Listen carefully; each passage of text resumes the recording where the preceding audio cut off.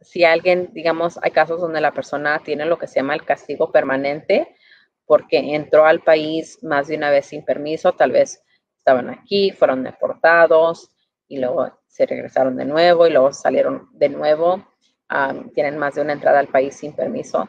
También hay posibilidades todavía para esos casos. En, muchos de esos casos uno tiene que esperar 10 años allá afuera y luego tiene que pedir un perdón, pero igual, sí se puede, sí se puede legalizar todavía, aunque has, entrado al país más de una vez.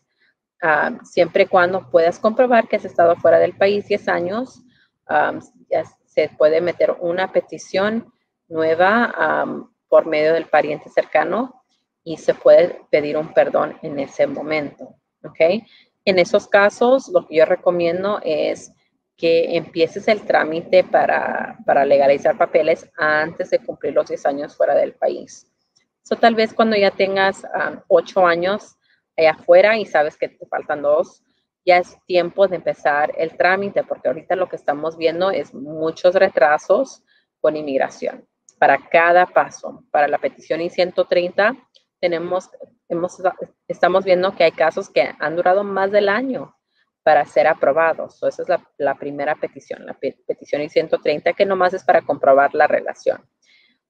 y luego el perdón, si tienes que pedir perdón, también estamos viendo retrasos grandes con eso, más de un año para ciertos perdones y para conseguir la cita en Juárez, en El Salvador, ahorita hemos visto un retraso de casi dos años. Todavía no estamos en ese punto, pero sí estamos viendo que ahorita apenas están citando a personas que mandaron toda la información a partir de julio del 2019. Entonces, sí, eso, sí estamos viendo retrasos grandes para las citas Claro, todo tiene que ver esto con la pandemia.